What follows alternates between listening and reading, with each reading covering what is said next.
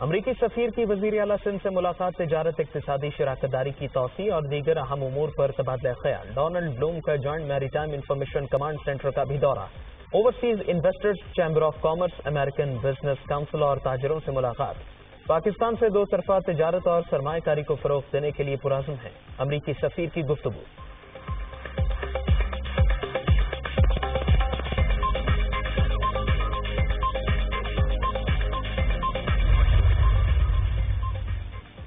آزاد کشمیر کی ستائیس رکنی نئی کابینہ نے حلف اٹھا لیا۔ صدر بیرسٹر سلطان محمود نے وزراء سے حلف لیا اسپیکر چوہدری لطیف اکبر کی بھی تقریب میں شرکت۔